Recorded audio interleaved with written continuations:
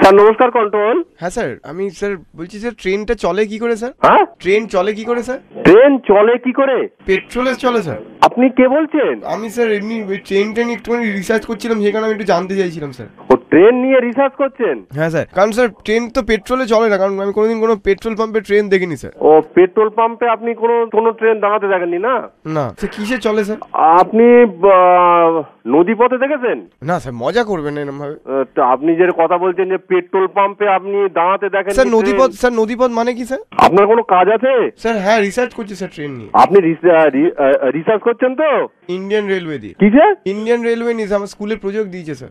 আপনি একটা কাজ করুন। স্যার আপনি বলবেন না আপনি আমাকে তুই করে বলুন বা তুমি না না আমি তো তুমি বলতে পারি না। স্যার, আমি অনেক ছোট স্যার আপনি আপনার ছেলের বয়সী স্যার। আর ছেলের বয়সী ঠিকই আছে। বাবা।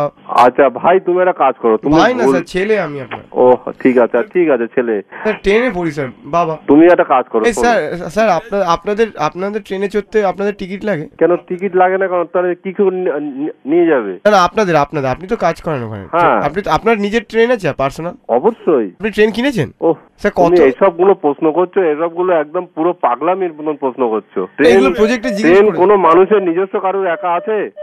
ও থাকে না এটা স্যার। কন্ট্রোল রুম এটা খুব বিজি জায়গা তুমি এখানে আর ফোন করো না। স্যার গাড়ি থাকে তো মানুষের? তুমি এখানে এটা কন্ট্রোল রুম ভাই এখানে ফোন করো না। স্যার হাত জোর করছি স্যার নাহলে আমি প্রজেক্টে ফেল করে যাব স্যার। তুমি এখানে তুমি এখানে এটা পুলিশের কন্ট্রোল রুম ট্রেন কীভাবে তৈরি হয় ট্রেন কিসে চলে এসব কিছু আমাদের এখানে বলতে পারি স্যার স্যার পুলিশ নিয়ে একটা প্রজেক্ট আছে স্যার। পুলিশে চাকরি পেতে গেলে কি করতে হয় স্যার? ও বাবা তুমি এই সব প্রশ্ন এখান থেকে এখন কোনো মতে স্যার সুন্দর একটা ট্রেন এঁকেছি স্যার আমি। হ্যাঁ? আমি সুন্দর একটা ট্রেন এঁকেছি স্যার ট্রেনটা কীভাবে চলে? একটুখানি বলে দিন স্যার। এই কথা বলো। বিপদ হ্যালো হ্যাঁ স্যার। হ্যাঁ কি হয়েছে? হ্যাঁ স্যার ট্রেন কীভাবে চলে স্যার জিজ্ঞেস করছিলাম। ট্রেন কীভাবে চলে? হ্যাঁ। ট্রেন তেলে চলে তেল মানে আর ডিজেল তেলে চলে আর কারেন্টে চলে। স্যার তেলটা কোথা থেকে ভরানো? Sir petrol pump petrol pump না ওরা নিজেদের পাম্প আছে সেই পাম্পে থেকে ভরে। অত জানার যদি ইচ্ছা থাকে তাহলে স্যার আপনাদের একটা ট্রেনে কত লিটার তেল ধরে? তা আমি বলতে পারব না ওরা ডিআরএম কে জিজ্ঞাসা করো ডিআরএম স্যার আপনারা কত করে মাইলেজ দেয় কে? মাইলেজ কত দেয় স্যার ট্রেনে? পাগল টাগল হয়ে গেলে নাকি তুমি? ট্রেনের মাইলেজ হবে না স্যার এটা পুলিশ কন্ট্রোল রুম এই না এই নাম্বারে তুমি ফোন করবে না।